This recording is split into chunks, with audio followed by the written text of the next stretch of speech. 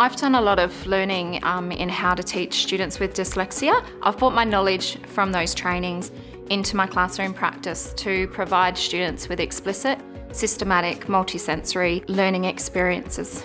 So I do that through an explicit direct instruction model. So that's where the focus is I do, we do, and you do.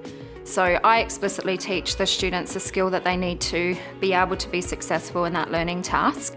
Together we practice, so the students are working with me in that and I'm able to give them immediate feedback so no child is left behind. Once the students grasp that skill, then they're given opportunities to independently apply their knowledge to given tasks. She's bright and bubbly. Both the kids and the parents can see how committed she is to learning. Those moments where children realise that they can do it, that they are successful, they see themselves as learners, and that they can apply their skills to different learning tasks, they're the moments that I come to school for. That's what I work really hard for, and I want that for every child.